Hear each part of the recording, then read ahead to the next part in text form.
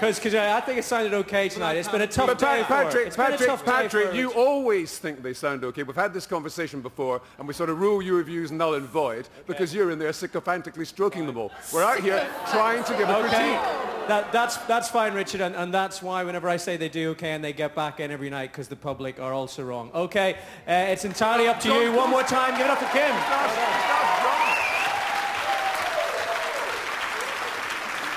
She's come this far. She really doesn't want it all to end tonight, but perhaps that's what the future holds